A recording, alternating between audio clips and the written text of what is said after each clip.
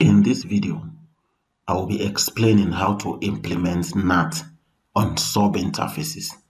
There will be DHCP configuration and access list implementation as well.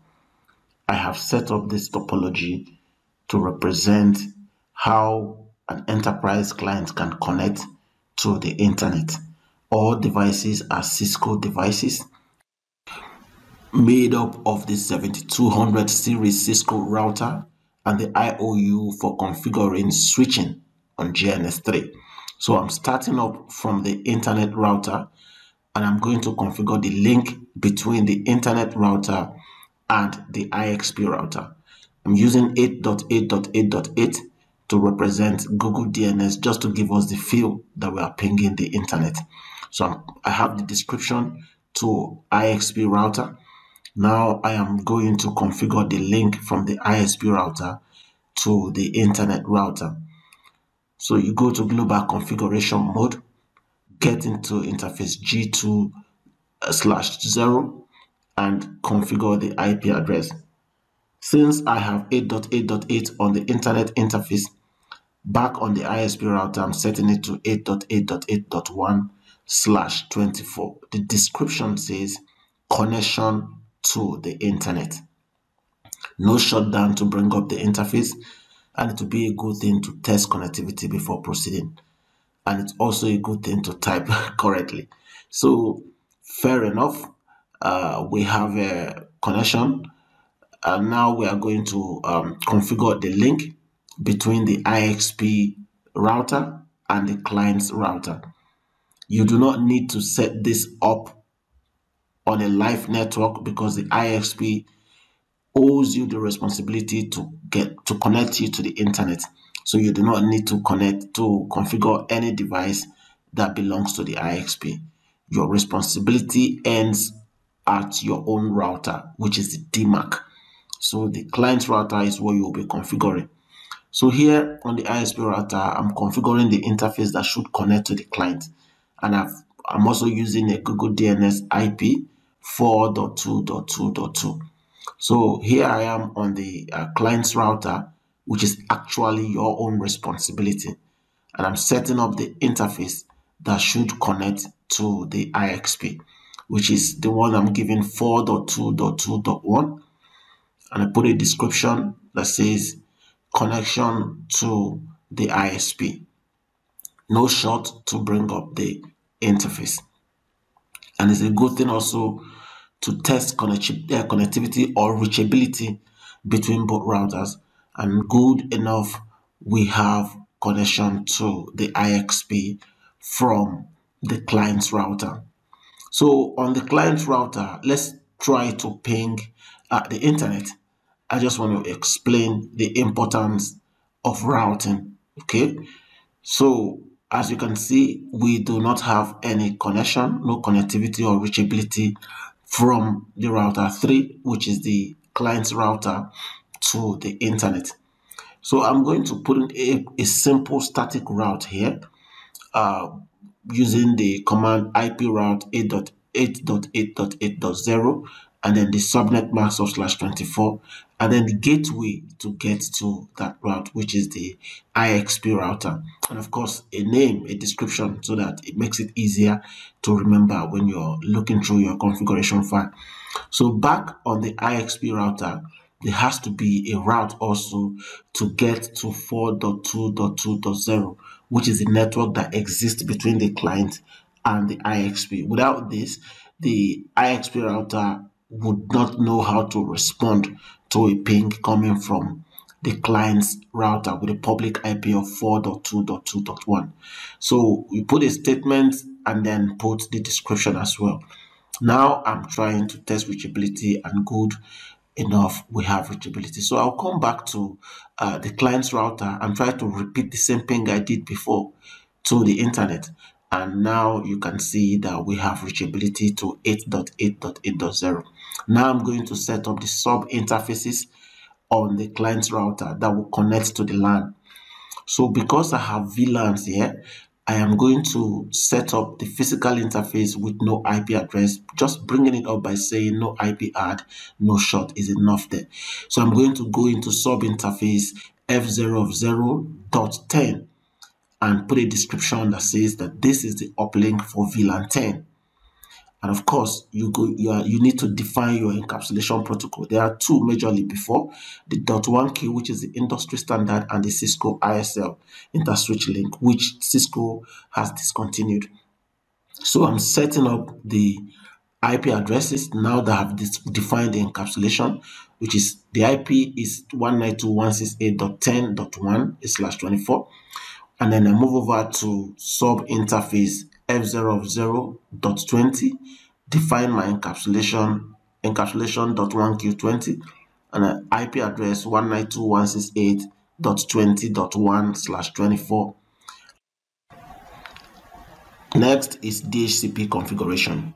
So i'm configuring the dhcp for vlan 10 ip dhcp pool vlan 10 network 192.168.10.0 255.255.255.0 default default router 192.168.10.1 DNS server 192.168.10.1 and 8.8.8.8 you can use the DNS IPs given to you by your IXP you do not need to use the Google DNS but you can use the Google DNS if you have no ISP DNS server given to you.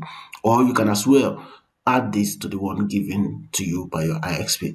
So the next thing is to exclude the IPs that you do not want the DHCP server to give out to clients on your network. And then it's a good thing to also exclude the IP address that you're using as your DNS server or your default gateway rather and then the broadcast IP of that subnet.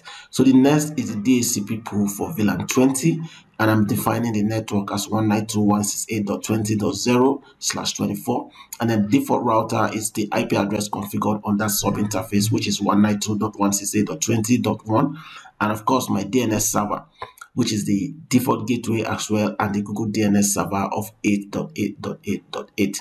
So if I've configured this, the next thing is to exclude the IPs that I still do not want the DNS, the DHCP server to lease out, which is the IP I have on the sub interface as my default gateway as well as the broadcast address of that uh, subnet. So I have excluded the IP and at this point I am done with DHCP configuration on my router. So the next thing I'm going to do at this point is to go to my switch, of course, to configure VLANs and all that I need to have done. But before that, I will need to define my NAT, okay, because that's the essence of this uh, whole lab. So the first thing you do is to define the NAT pool. Usually you have one public IP given to you by your IXP. So you define the pool by saying IP NAT pool, you give a name, whatever name you want to give, put the IP given to you by your service provider, the first where it starts and then where it ends. And of course, the subnet mask you have on that one interface connecting to your IXP. And then the next thing you want to do is to define the list of private IPs that will be NATed if that whatever exists. So I'm using an extended access list that makes it easy to update this access list. So IP access list extended, I'm giving it a name as NAT. And then of course, I'm going to put the sequence numbers as well as the subnets that are allowed here. So the first one is subnet 10.0 slash 24 and I'm allowing that to any. So I have the second sub uh, sequence there, sequence 20 for subnet 20. Next is the configuration of the actual NAT statement, IP NAT inside source list. And then what is the uh, access list there? It is the NAT extended access list configured earlier.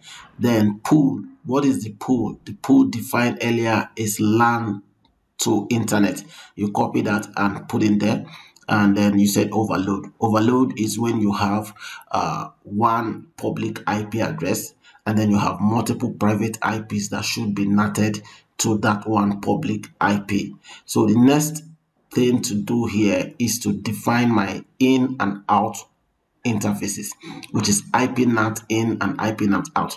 So my IP NAT out is the interface that connects to the ISP. Note that. And your IP NAT in, this is where everybody, uh, most students make mistake is not the physical interface connecting to your switch, but the sub interfaces for different VLANs. So as you can see here, I have the F0 of 0.10 and F0 of 0.20, each representing VLAN 10 and VLAN 20, as you can see there. So uh, the next thing to do is to go to the switch here. And on the switch, I'm going to define my trunk port as well as my access ports. And of course, I need to create VLANs. So E0 of 0 is my interface connecting to the router. So I'm configuring it as a trunk encapsulation dot one Q and then switch port mode trunk. This makes it a trunk port and I'm going to allow the VLANs that I want on this interface.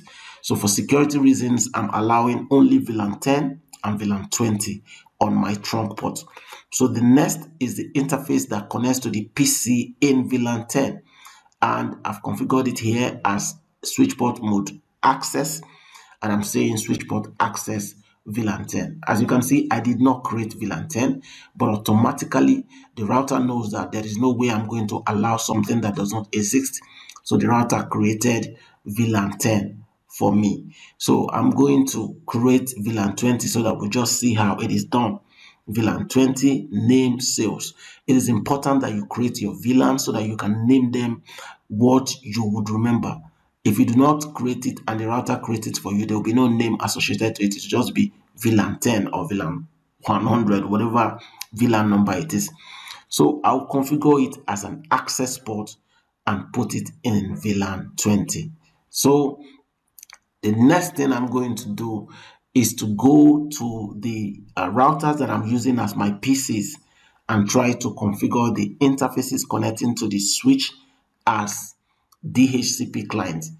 That way, they will acquire IP addresses automatically from my router that is serving as my DHCP server. So you just go to the interface and say IP add DHCP and fair enough, we have an IP already on PC1. So I'm going to go to the second one uh, and then do the same thing to have it acquire an IP address through the DHCP server. So you go to the interface and you say no short and IP add DHCP and we'll have an IP 20.2. So the next thing we are going to do is to check the interfaces using the show IP interface brief and you also see that we have an IP there and the method is via DHCP.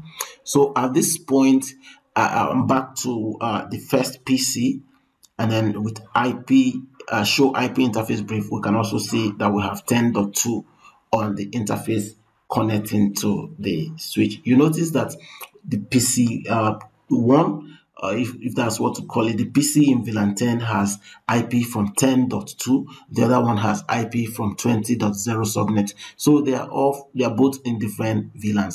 So now let's turn up a Wireshark and try to see how NAT really works. So I'll have the Wireshark uh, application turned up and I'll run a ping from one of the PCs there to 8.8.8.8 and then on the Wireshark, let's see what is actually happening. So I'm doing a repeat of 100. On Wireshark, you can see from what is shown on the screen that the source IP is actually 4.2.2.1 going to destination 8.8.8.8 and that is an echo request. Now, the reply will come from 8.8.8 texting to 2.2.2 1 and there is no nowhere 1.192.168.10.2 uh, or 20.2 was mentioned in this. That shows you that the ips are being translated on router 3 as they are exiting towards the internet router. So that's how NAT works. If you enjoyed this video please subscribe to this channel like this post and turn on post notification. Thank you for watching and see you in my next video